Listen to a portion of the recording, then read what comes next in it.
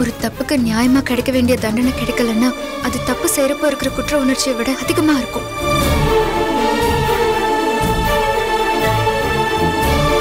எனக்கு என்னமோ அவ நம்மள அவாய்ட் பண்ணிட்டு போனதுக்கு வேற ஏதோ ரீசன் இருக்குன்னு தான் தோணுது.